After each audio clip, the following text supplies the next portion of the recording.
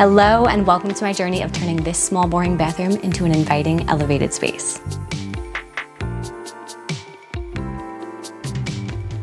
My name's Charlotte. I live in a 250 square foot home and I am bored with this bathroom. I moved in about six months ago, designed this whole thing with my boyfriend, and honestly, the bathroom is a little bit lackluster. We only have one bathroom and I really want anybody who steps foot into it to feel inspired, to feel like they're not in a tiny bathroom, but to feel like the world is full of endless possibilities. Is that even possible? We're gonna find out. So I took this journey over to TikTok and I asked our viewers, what should I do to elevate this space? And they've had some seriously incredible ideas. I'm so excited to elevate this space and take you along on this journey because I think it's just the subtle differences that make or break a space. So let's put some character in this bathroom. So this is the bathroom. It's quite cute and small and charming, but it's just boring.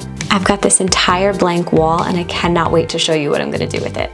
I know there's so much potential for the little touches. So one of the responses that I got was that this mirror is too small for the space, which after they pointed that out, I totally agree. So I'm gonna replace this circle mirror with a vintage mirror that I had laying around from one of my homes a while ago. I think this teal border is gonna really accent my walls.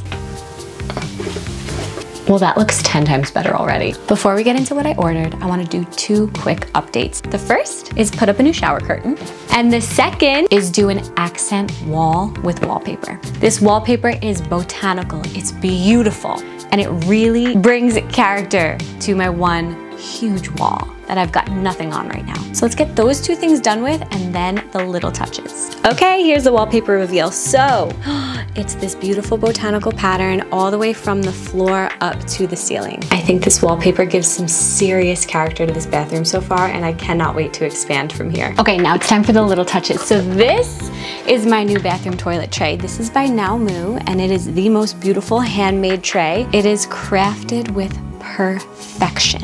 One of my favorite parts about ordering all of these things from small businesses is the love and attention that went into them. I just know this is gonna last me for years. I'm gonna put it on the top of my toilet. Oh my gosh, that looks so great. I love it. The other thing I got is this beautiful print. Let me show you. Look at this. These are dandelions and I think it's gonna make the bathroom just feel so mystical. I think I know where to put this. If I put it in here, it has this amazing depth I think I love this. Absolutely am doing that. There we go.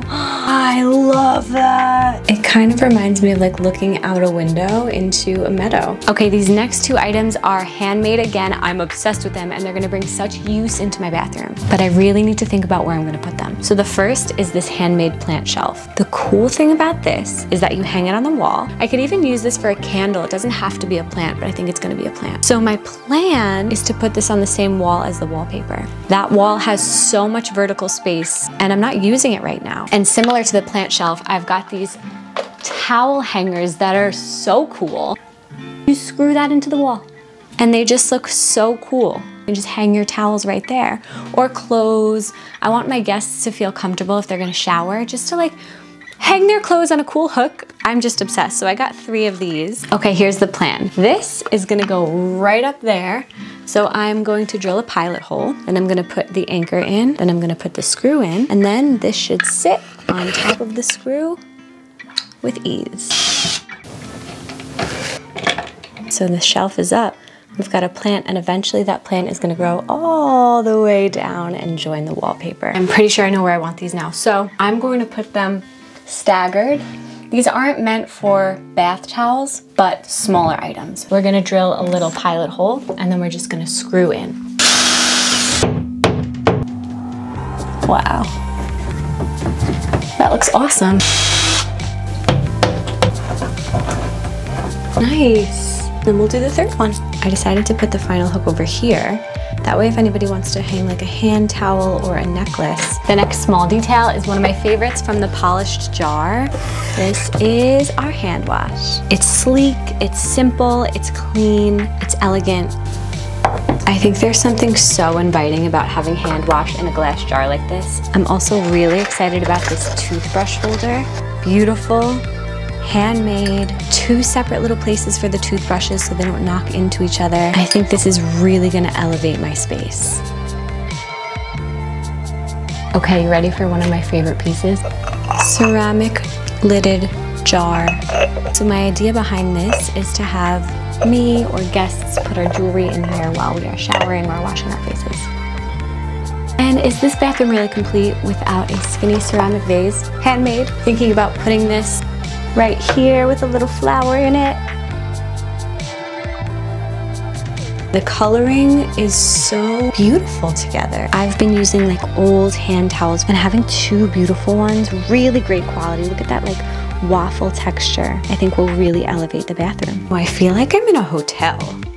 This is really coming together. It's not an inviting bathroom without a candle. And this smells incredible. This scent is my new scent. This is the inviting elevated bathroom scent. Let's light it.